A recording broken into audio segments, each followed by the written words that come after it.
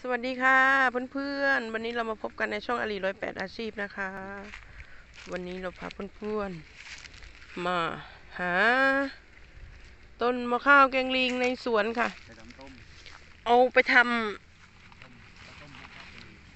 ข้าวเหนียวต้มนะคะ สูตรของเรานี่เราเราไม่ใส่ข้าวสารลงไปในนี้นะคะ เราจะสูตรของเราจะเป็นนึ่งข้าวเหนียวก่อนนะคะ ทำเป็นข้าวเหนียวมูนนะ แล้วก็มาหยอดในนี้ อันนี้เป็นตัวเมียนะคะ เพื่อนๆ เราวันนี้เราเลือกแต่ตัวเมีย ความจริงตัวผู้ก็กินได้นะ แต่เราเอาตัวเมียเพราะว่า ตัวเมียเขาจะอ่อนเนาะ แล้วก็เรากินไปทั้งเปลือกนี่มัน มันจะกินง่าย อันนี้ตัวผู้ค่ะเพื่อนๆตัวผู้จะเป็นแบบนี้นะคะ ตัวผู้ตัวผู้หลังหลังมันจะแอน มันจะ เอ็นเอ็นเอ็นตรงนี้ไปข้างหลังนะคะ เนี่ยเขาเรียกตัวผู้ แบบนี้นะคะ ตัวผู้ อันนี้ตัวเมียค่ะ เพื่อนๆตัวเมียมันจะหันมาข้างหน้าแบบนี้นะคะ นี่มันจะมาอยู่ข้างหน้าแบบนี้นี่ใส่ประเด็นให้ได้นี่ใส่นี่นี่ตัวผู้นี่ตัวเมียนี่ต้มเดี๋ยวเราจะไปทำข้าวต้มกินกันค่ะเพื่อนๆเดี๋ยวเราจะสอนวิธีการทำนะคะ วิธีการทำแบบสไตล์อาลีนะคะ สไตล์ของเราจะไม่ใส่ข้าวสารลงไปก่อนนะบางบางคนเขาจะใส่ข้าวสารลงของเราจะนึ่งทำเป็นแบบข้าวเหนียวมูนแล้วก็เอามาหยอดอ่าในนี้เอาไปคลุกกับน้ำกะทิแล้วก็มาหยอดในนี้อีกทีเนาะเดี๋ยวพาเพื่อนๆไปดูกันค่ะค่ะเพื่อนๆตอนนี้เรามาถึงที่บ้านแล้วนะคะ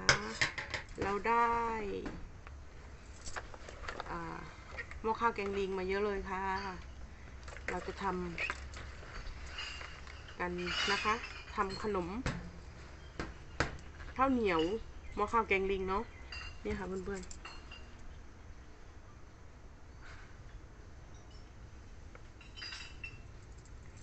มีลูกสีเขียวด้วยค่ะ เราเลือกแต่ตัวเมียแบบนี้นะคะ เพื่อนๆเราเลือกแบบนี้เพราะว่ามันอ่อนนะคะ การที่จะเอามาทำข้าวต้มได้ เราก็ต้องเอาแบบที่มันไม่แก่มากนะคะ ที่เพิ่งลูกมันเพิ่งออกมาไม่แก่มากเนาะ เพราะว่าเวลาเราทานแล้วมันจะไม่เหนียวนะคะ มันจะไม่เหนียวเวลาเราทานแล้ว มันก็จะทานไปทั้งลูกทั้งเนื้อนี่เลยนะคะ มันก็จะ มันก็จะเคี้ยวง่ายนะคะ ก่อนที่เราจะมาล้างอ่าหม้อข้าวแกงลิง เดี๋ยวเราให้เพื่อนๆดูกันนะ เราแช่ข้าวเหนียวไว้นะคะ เพื่อนๆ ข้าวเหนียวนี้เราใช้ข้าวเหนียวเคี่ยวงูนะคะ เราแช่ไว้แล้วนะคะ ตั้งแต่เมื่อเช้า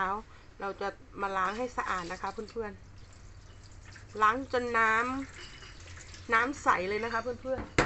ๆ ล้างประมาณห้าหกน้ำได้นะคะ เราแช่ไม่มากนะคะ เพราะเราทำไม่มาก เราทำกินกันแค่สองคนเนาะ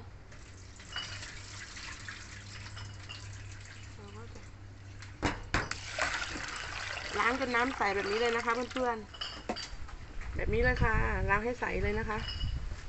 แล้วเราก็ เอาไปนึ่งนะคะ นึ่งเหมือนนึ่งข้าวเหนียวธรรมดาเนี่ยค่ะเพื่อนๆ นึ่งแล้วก็เราจะมาคลุกกับ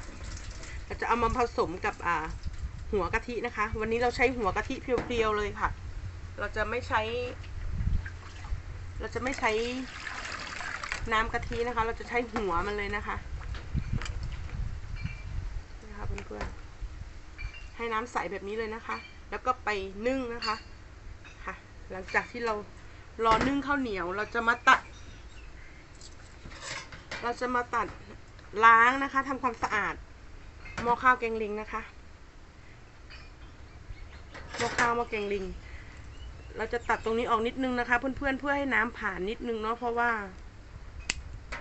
นี่ค่ะ ตัดประมาณนี้นะคะ ให้เป็นรูนิดนึงเนาะเพราะว่าเวลาเราทำความสะอาดมันจะได้สะอาดเวลาน้ำมันได้ไหลผ่านตรงนี้แล้วมันจะได้สะอาดเนาะนี่ค่ะ ตัดให้เป็นรูนิดนึง อ่า เวลานึ่งบางที เนี่ยค่ะเมื่อกี้มีหนอนออกมาด้วยนะคะ เนี่ยค่ะหนอนเฮ้เดี๋ยวเราจะมาล้างกันนะคะ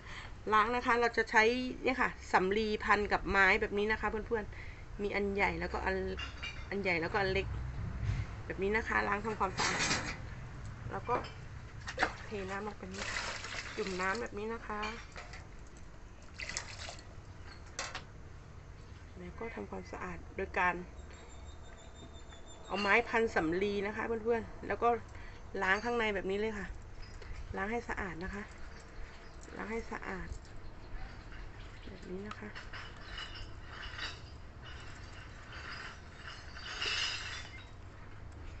ล้างให้สะอาดทุกอันเลยนะคะเพื่อนๆ เพราะว่าเขาจะมีหนอนมีแมลงเข้าไปอยู่ในนี้ด้วย เนี่ยค่ะเพื่อนๆดูสิ สกปรก เราต้องล้างให้สะอาดนะคะ มีแมลงด้วย เมื่อกี้มีแมลงออกมาด้วยค่ะ นี่แมลง เราก็ล้างทำความสะอาดแบบนี้นะคะเพื่อนๆ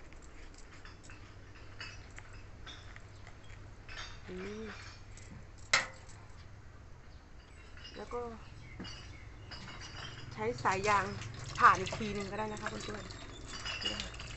ผ่านแบบนี้เนาะให้เขาเพิ่งออกแบบนี้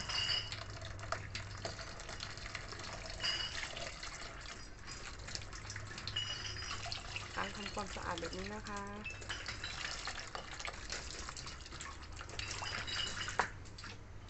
นี่ค่ะล้างหลาย ๆ ครั้งนะคะ ให้มันสะอาดดูว่าสะอาดแล้วก็ใช้ได้แล้วค่ะเพื่อนๆดูว่าสะอาดแล้วก็ใช้ได้แล้วก็ ก็พอนะคะ นี่ค่ะเพื่อนๆ ตอนนี้เราล้างหม้อข้าวแกงลิงเสร็จเรียบร้อยแล้วนะคะต้องล้างหลายน้ำมากเลยค่ะเพื่อนๆ เพราะข้างในมันมีแมลงเยอะมาก หลังจากที่ล้างเสร็จนะคะเราก็นึ่งข้าวเหนียวเสร็จแล้วค่ะข้าวเหนียวที่เรานึ่งเสร็จแล้วนะคะ เราจะไม่ใช้เป็นข้าวสารเนาะเราจะใช้เป็นข้าวเป็นข้าวนึ่งแล้วนะคะ เสร็จแล้วนี่ค่ะ นี่เป็นน้ำกะทินะคะ น้ำกะทิของเรานี่ เรา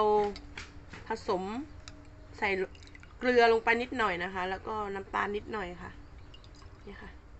เสร็จแล้วนะคะเราก็เทราดลงไปในข้าวเหนียวเลยค่ะ เราใช้หัวกะทิเพียวๆเลยนะคะ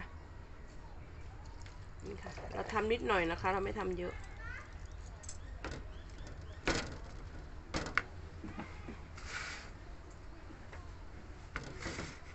นี่ค่ะ แล้วก็คนให้เข้ากันแบบนี้เลยนะคะเพื่อนๆ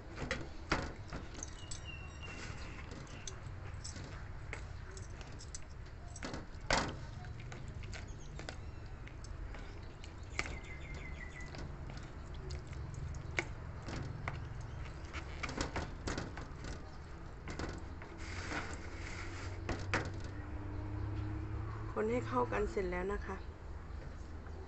เราจะมากรอกนะคะ เราจะใช้ช้อนเล่มเล็กๆเนาะ ช้อนเล่มเล็กๆแบบนี้นะคะ กรอกลงไปแบบนี้นะคะ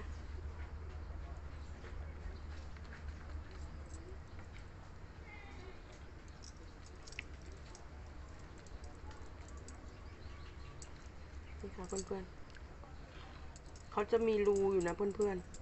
ๆเขาจะใส่ เขาจะมีรูอยู่ตรงนี้นิดนึงนะเพื่อนๆที่เราตอนที่เราเอาแมลงออกมันจะมีรูอยู่ตรงนี้เนาะอาตอนที่เราล้างนั้น มันจะมีรูอยู่ แบบนี้นะคะเพื่อนๆ เราจะใส่แค่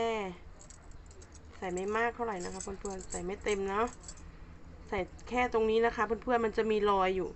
รอยคลั่นระหว่างตรงนี้เนาะ อันนี้เขาเรียก เรียกโม่เนาะ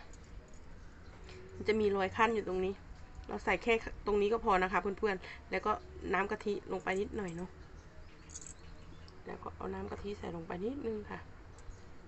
ตอนที่เราใส่น้ำกะทิเราก็เอียงแบบนี้หน่อยนะคะเพื่อนๆ เอียงแบบนี้นิดนึงนะ เวลาเราวางนะครับอันนี้เรานึ่งซึ้งเล็กนะคะ เพราะว่าของเรานิดเดียว เราก็จะเอียงนิดนึงนะคะเพื่อนๆ เอียงเพื่อว่า เวลาวางน้ำกะทิเขาจะได้ไม่ไหลออกไปที่ตูดมันที่รอยที่เราตัดนะ นี่ค่ะเพื่อนๆวางแบบนี้นะคะเอียงนิดนึง นี่ค่ะเพื่อนๆ ขนมข้าวเหนียวหม้อข้าวแกงลิงของเราหม้อข้าวหม้อแกงลิง เราก็กรอกเสร็จเรียบร้อยนะคะ เดี๋ยวเราจะไปนึ่งนะคะ การนึ่งของเราใช้เวลาประมาณ 10 นาทีนะคะ เพราะว่าข้าวเหนียวของเราสุกแล้วนะคะ เราก็จะนึ่งแค่ให้เขาอ่าจับตัวเป็นเนื้อเดียวกันกับข้าวเฉยๆนะคะ ให้เขาแห้งสักนิดนึงแค่นั้นนะคะสักสิบนาทีแล้วก็เดี๋ยวมาดูกันนะคะ ว่าจะออกมาเป็นแบบเพื่อนข้าวเหนียวหม้อข้าวหม้อแกงลิงของเราเสร็จเรียบร้อยแล้วนะคะข้าวเหนียวหม้อข้าวหม้อแกงลิงกะทิของเรา เนี่ยค่ะ ออกมาลักษณะแบบนี้เนาะกินมันก็กินคล้ายๆข้าวหลามเนี่ยค่ะ เพื่อนๆ รสชาติไอ้ที่เป็นอันเล็กๆ บางๆแบบนี้นะคะเพื่อนๆ กินได้ทั้งเปลือกเลยนะคะ แต่อันไหนที่เป็นหนาๆนี่เราจะแกะนะคะ แกะกินแต่ข้าง แกะกินแต่ข้างในมันเนาะ นี่ค่ะ ของเราอร่อยมากเลยค่ะเพื่อนๆ เดี๋ยวเราจะกินกันอืม คนภาคใต้เขาชอบกินนะคะเพื่อนๆ เพราะว่า ทุกวันนี้ก็ยังมีขายนะคะ ที่คนที่เขาทำขาย คนที่มีอายุหน่อยเขาก็จะทำไปขายในตลาดนะ ขายอันละห้าบาทถึงอันเล็กๆก็สองอันห้าบาทนะคะ นี่ค่ะ อร่อย คลิปนี้ก็จะประมาณนี้นะคะเพื่อนๆ ใครชอบก็ กดไลค์ กดแชร์ กดติดตาม เพื่อเป็นกำลังใจให้พวกเราด้วยนะคะสำหรับคลิปนี้ลาไปก่อนนะคะเพื่อนๆ สวัสดีค่ะ